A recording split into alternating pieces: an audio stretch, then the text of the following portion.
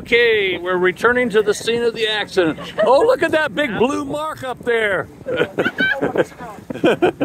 Yeah, we gotta, we gotta look at the other side. Yeah. Oh.